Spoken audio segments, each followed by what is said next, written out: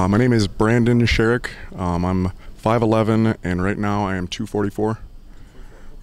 And um, you're prepping for your first show ever, right? Yep, very first um, local NPC show. Um, first show I'll, I'll ever be competing in. Um, tried to do one last year and got caught up with COVID, so looking to finish up one officially this year. Yeah. um, okay, man. So, okay, uh, go ahead and tell us a little about. We did arms, a little bit of shoulders and chest today.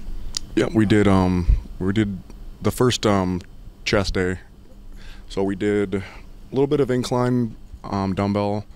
I like slow, controlled movements. I'm not big into trying to ego lift or max out. So a lot of my size are built off of negatives, um, slow, controlled work, um, and then just slightly moving it up a little bit every week, trying to better myself. Like two pounds here, five pounds there. Maybe it's two extra reps at the end, just a little bit more, a little better. Yeah. And really control, right? I noticed that you keep very good control and stuff. You're never like Yeah. slinging weight or anything crazy. I don't try to I don't try to sling weight anymore. Like after having two surgeries, everything has to be controlled. Everything's got to be good form. Like if the rep doesn't look good and it doesn't it doesn't feel good, it's not good form. Like I lower the weight. If I can't do it well and if I don't feel like I'm controlling the weight, I'll go down until I can. And now, how was just so people know? I know we talked off camera, but Yeah. So how did you hurt your shoulder? blade? in high school, um, I used to wrestle. So back to back um, seasons of wrestling, two surgeries. Uh, yeah, took took me down. Like took all my pretty much all my high school sports out. Yeah. Yeah, and then after that, you're in rehab and therapy, like trying to get your shoulder back, and they teach you to slow down and control your movements. So everything bodybuilding just came naturally after that. Is that kind of how you first kind of got the itch for it? Was that the first time you started lifting, or were you looking for sports? I was always lifting for sports, so I was never lifting for size. Everything was to get faster, stronger, um, to help the sport. But when I finally got to slow down and it wasn't for a sport, like my genetics, I felt like are there. My workouts were always tailored for endurance, agility, to get just to get better at your sport. And then when I put on extra weight, I put on extra size, like uh, in my workouts, everything was everything just started flowing for bodybuilding. I didn't want to power lift. I didn't really want to be known as lifting all the heavy weights. Like my body grows well, so I was just like, let's pick bodybuilding as your sport. Yeah, and you like that look, right? Obviously. I I love it because I I've always been a bigger guy, so uh being skinny has never been my style. Yeah. Yeah, I've just naturally been bigger Yeah. growing up. Yeah, yeah. Um, I'm sorry, I didn't mean to interrupt you your workout, but if you want to go into that a little more about the movements you did and stuff. I'm sorry. We we did um no no you're fine. We did incline dumbbell bench. We did I do a little bit of flat bench, but not much. It um I feel my shoulder clicking and hinging when I do a lot of flat bench, so I try to stay away from the the motions that inflame it or hurt it more. Um, then we did a lot of shoulders. Shoulders I've been working years at to try to keep my shoulder safe, to try to get it stronger. Um, and then a lot of good tricep workouts. Triceps are some of my favorites. Triceps and biceps. Obviously, I'm huge into arms. That's my favorite body part. Um, but isolating the different movements in my triceps and my biceps, those are my favorites. Yeah, always just have big arms too. always been, always been like my best muscle group is my arms. Yeah. I feel like most people, someone has that one group where Yeah. is this one where it like grows very easily or responds. It's really sometimes it's calves or people arms. Some people have crazy chests. That's all I wanted to work out was my arms. Like it, everything else was disproportionate. My legs were the si- same size as my arms. All I wanted to do was work out arms because they grew instantly. yeah. Yeah, Well, and it's got to be more uh, encouraging and inspiring or motivating when you can see something grow that fast. You- it's like you just get instant reward. Yeah, Yeah.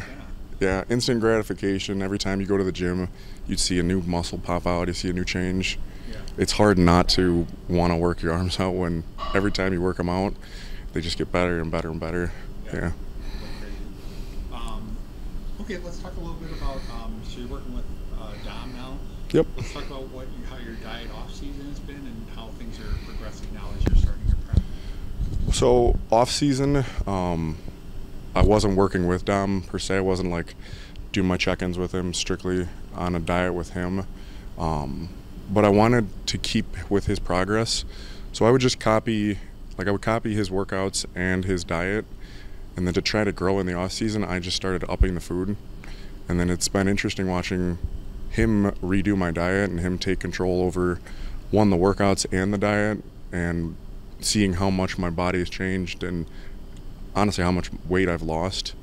Because I was just eating everything I could find. I was I would go extreme like make a plate of food and then take another bag of food, blend it and drink the food while you're eating just to try to put more calories in, get bigger and bigger and bigger. Seems I always like, and I because I was found though through COVID, nothing else to do. Yeah. And you did an interesting job, but it seemed like um, you like always had to have outlines. Like you weren't fat.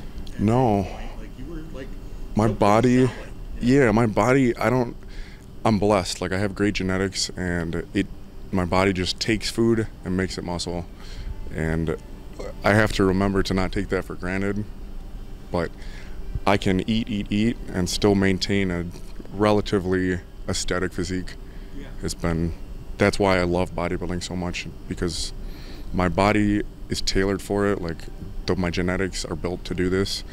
Like why not do what you, what comes naturally to you? It's not like the old Dave Priest where you see him, he'd put on like hundred pounds. oh yeah i don't He have to dirty bulk like that.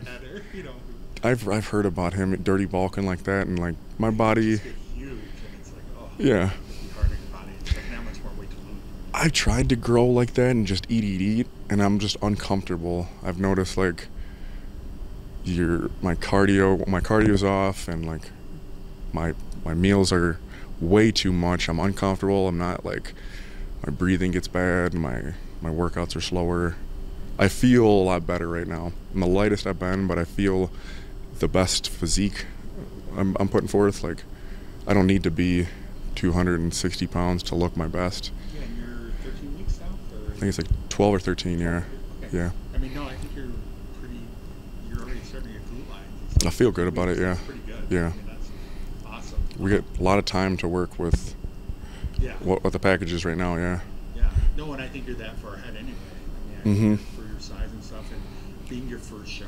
Usually, most preps, I feel like people are behind uh, yeah for their first prep, and now maybe it's because last year you yeah. good to go, and then it was like everything got screwed over. we kept like I just kept trying to keep the progress going. I knew I wanted to finish a show, so I didn't throw it away. Like yeah, I ate a lot in the off season, but like everything, following Dom's workouts and following his diet plan, about 70, 80 percent. We just took all the progress from all of the work we did last year, and just doubled it. So now going into this one, I feel like I'm. It's been two preps smashed into one, and this is two years worth of progress in the making. So I, I feel well ahead of where I where I was last year, which is good. I come I kind of compare the pictures from last year and this year, and my posing I feel like is better. My overall physique I feel like is better, and I just feel like I'm much more prepared than last year. Yeah, people understand too, this isn't like this is your you're for your first. This is your first show. Yeah. Like not your first national show or your first you know national qualifier. This is your first show like ever. ever. I've talked about bodybuilding um, since I was 14 or 15, just thinking about getting serious about it.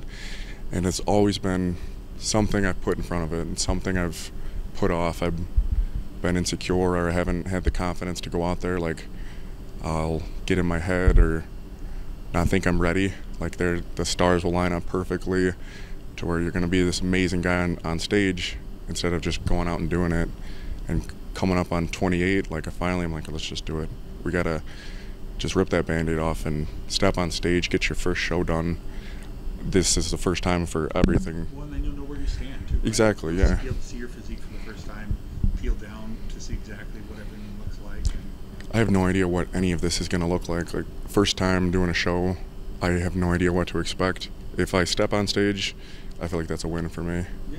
yeah. uh, completely No, dude. for your first show, I, you have some serious size to bring along. I feel good about that. Yeah, I appreciate that. I'm excited to see what happens. I come down. We'll definitely uh, have to catch up as you Yeah. post the show, get some more videos. I'll keep you posted. Yeah. it's gonna be impressive. I a feeling. I feel like I got a good starting point with like 12 weeks to go. Yeah. I can't imagine what 12 more weeks of work is going to put on this. And Yeah. Dom knows his shit too. He's no slouch. I mean, Dom- I trust him He's a very good guy. 100%. very scientific and very- Every little thing is planned out accordingly. Everything is tracked, monitored. I'm the one that's got to be the responsible one. Dom follows whatever I show him and makes adjustments to it. I got to be, I'm the one that's got to be diligent and honest with it. But everything is down to a T. The amount of water, the amount of steps you take, the grams and all your food, everything is planned accordingly. There's no, there's no gaps, no wiggle room. No guesswork for you. I don't have to think at all. I Dom tells me what to do. He says eat this, I eat this, and tells me to work that out. I do that. That's awesome. Some uh, people like Yeah. more of a, but then I know people who like some people like more of the macro approach, and they like being able to pick. Yeah, I don't want to think about it. I Yeah, I want to be an athlete. I just want to step out. You tell me what to do. You say this is gonna win. I'll do that. And that's why you the coach. Yeah. Worry about as you get closer and your brain's like fried a little bit. Yeah, I don't know why you're removing this this piece of food from my diet or why you're adding this, but you're the one you're the one that puts it together, so I don't have to worry about it. What's your cardio like right now? cardio right now um, i'm on the elliptical for i was doing four times a week for 15 minutes basically 150 calories we had it tallied up to and we just bumped that up to four another four times a week for 20 minutes it's basically 200 calories per session so he's keeping i think the calorie or the cardio is relatively low for now keeping my size but anytime he anytime he ups cardio or drops a little bit of food my body responds like that Yeah. so You said just like within a week. Uh-huh. Like six pounds or something. Just i went yeah, Yeah. i think i lost anywhere from four to six pounds pretty fast yeah, Yeah, 'cause it seems like when I talked to you maybe last week, you said you were right around 250 or. I'll have yeah i look Yeah. back on the on the weekly check-ins and see like oh wow we lost that much i'll i'll fluctuate like three four pounds in a day sometimes Yeah.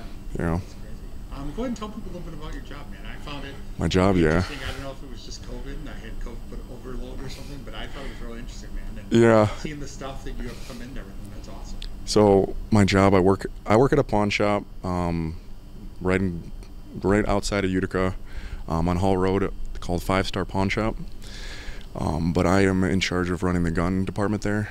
So any guns that come in, buying, selling, trading, um, I'm in charge of that. So all the way through COVID, kept myself busy by posting the coolest guns I could find, all the cool guns that came in, and that kind of got me um, like the itch, the love to sell guns, and that's what I want to do.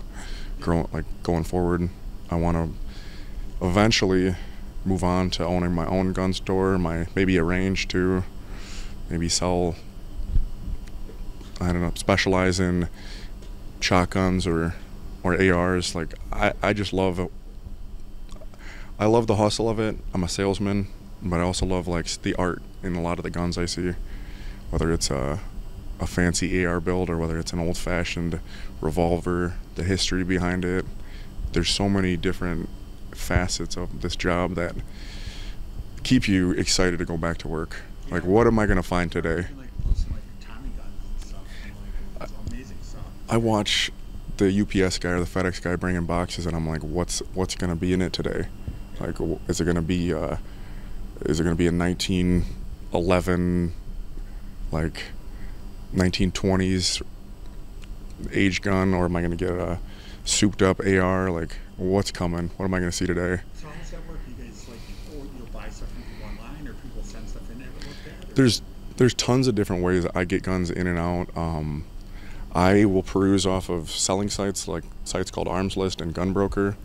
I will be messaging people back and forth, trying to make deals. Um, people will come in on their own, wanting to sell guns, wanting to buy guns. Um, you can find avenues towards guns anyway, like even on Facebook. Um, even though they try to police it, there's different ways you can go around trying to find guns, buy them, sell them. Um, But a lot of a lot of my guns come in. It was through dealers, and then COVID.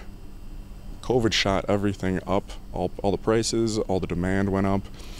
Then it tanked. So now all the prices are are off, and I have to hunt each gun individually because pricing is Because now people don't, No. don't feel an urge for guns anymore. Like, there's not the rush of last year. Last year was the probably the biggest biggest year for guns in American Probably history. nationwide, right? Yeah. In like, since since the beginning, yeah. I don't think we've ever sold more guns than we did last year. Because it's not like a Republican thing anymore. I know No. a lot of Democrats. I have Democrat friends. I've heard a lot of Democrat celebrities. It's just an American thing. Guns. Yeah, like Bill Maher is a huge Democrat. He went out and Yeah. bought two guns. Like, There was a fear going on that like you weren't going to be able to get a gun. Yeah. well, you saw people fighting over toilet paper. Oh my gosh. So what do you think's gonna happen if like we ran out of food or meat or You didn't have a gun to yeah, you know? to protect yourself. No, I I feel like an idiot. you you should never feel like you should never be made to feel dumb about not knowing something like something that might seem expected or manly like not knowing guns does not mean you're any more or less. Like but i feel like a lot of times people or like gun shop owners and gun enthusiasts will make you feel less for not knowing just the basics. Well, dude, you, if some little guy comes in, some dirty guy, and sees you too, well it's intimidating. You guns and guns yeah. But yeah, honestly, like full disclosure, I learned almost everything I know about guns on on the job. Like my knowledge of guns before and my knowledge of guns now, I had to fake it till I made it. Like yeah, I didn't know much at all.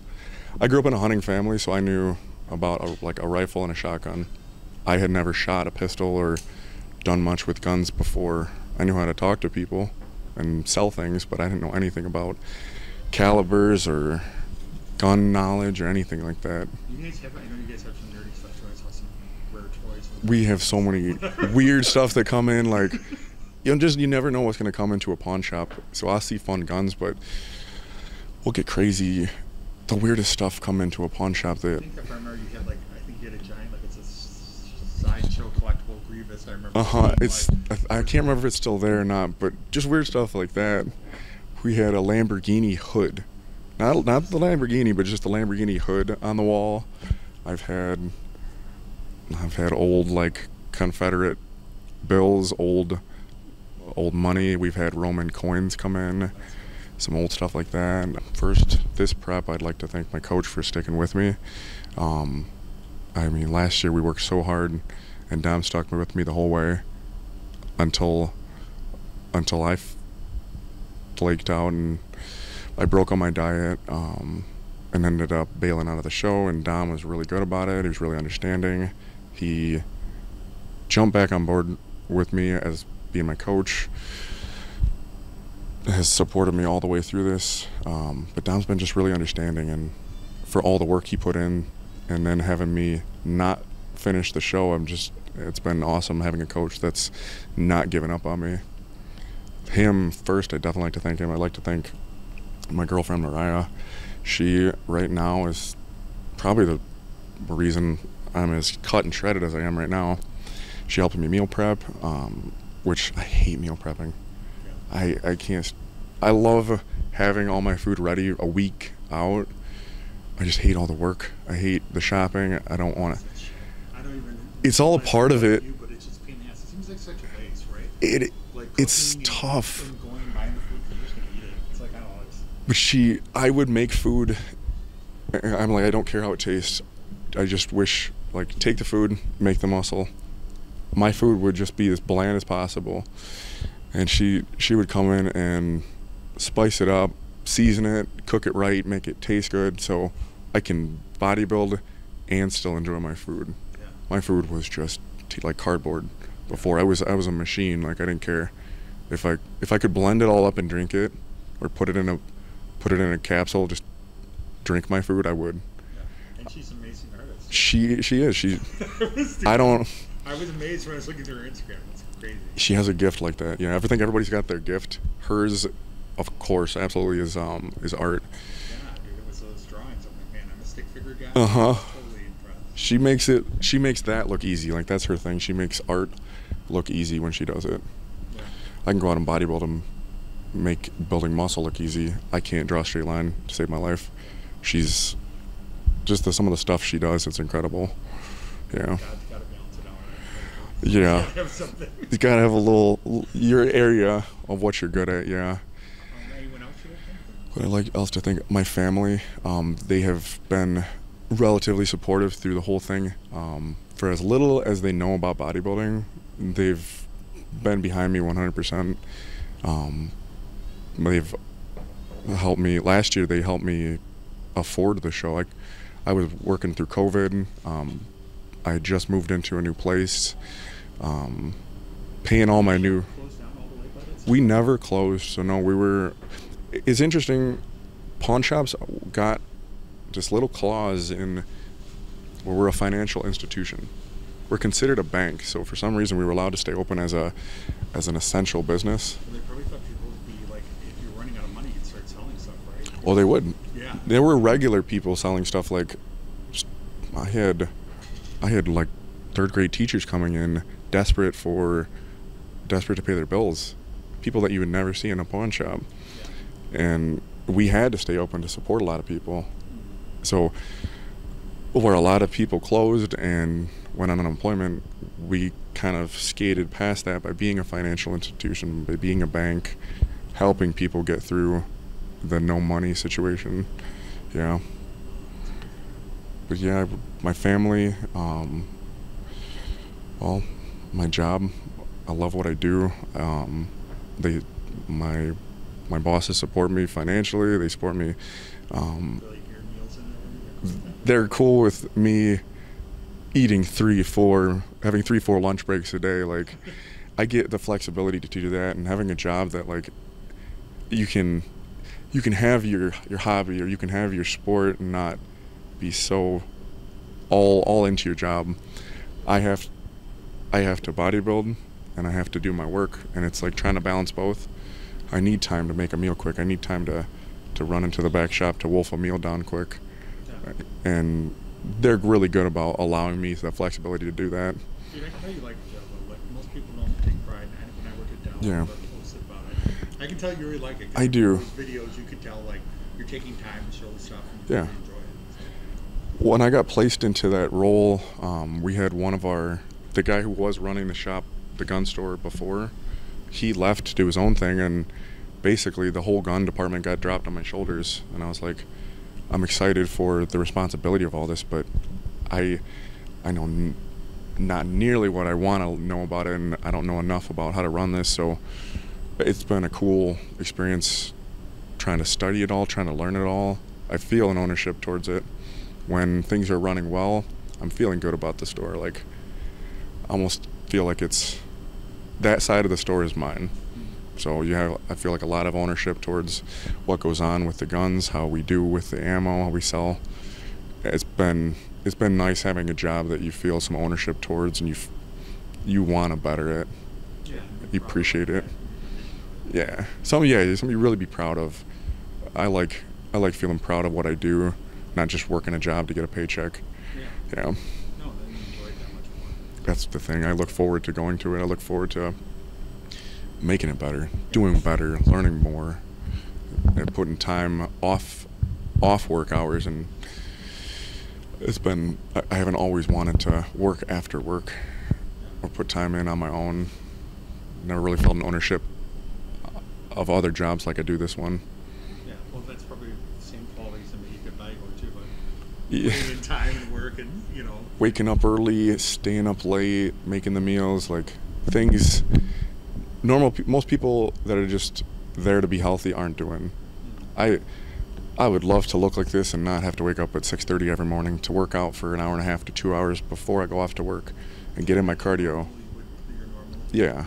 I'm I'm up. I don't want to be up that early. I'm not a morning person, but if I want to be if I want to be my best, I have to do some things I don't want to do.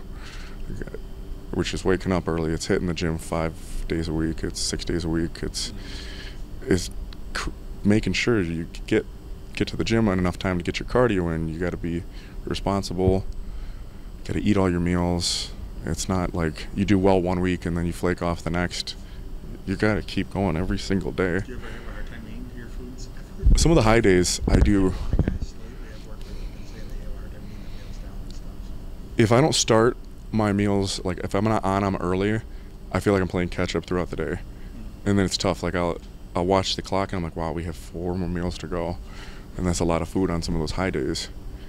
And I'm like, okay, we can do this. And then I'll find myself at midnight.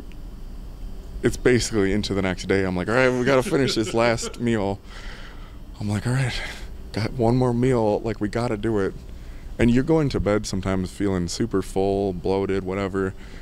And sometimes it's not like the plan is designed. You'd like some digestion time, but a lot of things you just you just getting through. Some days are better than others. Some days aren't. It's not always pretty, but like I said, not everything lines up like you want it to. Especially trying to get all your meals in. It, going to the gym is e- is easy. Crushing a workout is easy. It's the stuff you do outside of the gym. Getting enough sleep, getting all your meals in, keeping your stress low. Like those factors uh, are the hardest parts for me. Like the little details on the side that nobody sees, that's the stuff that's that's the most important for me.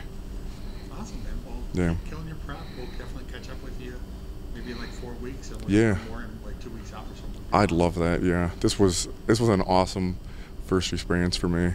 Oh, God. Like- no, you look crazy, man. I think you're going to do well. So I appreciate it. can't wait to see the final product. And definitely shooting. Oh, I know last year everything got messed up with COVID and everything, so this year will be good. this year I'm I feel like I'm one and a half times better than I was last year. So I can't wait to see in 12 weeks what what this is all going to look like. Yeah. good. Yeah, I feel like. So I worked with a lot of top level pros and And I'd like, lastly, I'd like to thank you. I mean, I've been, we've been in contact for what, a year and a half, two years, Years. and you're like, all right, when do you want to shoot? I'm like, I think I'm ready. I don't know if I'm ready yet. I think I'm ready. No, no, no. Give me, give me like two more weeks. Give me, give me four more weeks. And you've been understanding through the whole thing, like my ups and my downs, like, and then finally, finally you're pulling off a shoot together, finally getting it, getting it together, and you haven't bailed on me. You haven't gotten, like, no, you got to be ready. You're, you feel you're ready. Your own self. Some people- Everyone's gotta be different. some people get tired of waiting, um, tired of like people saying they're gonna show up and not show up, and that's been a struggle with me. Finally, just doing what I say I'm gonna do, following through. So you being understanding the whole way through has been awesome. Dude, it's my pleasure. Yeah.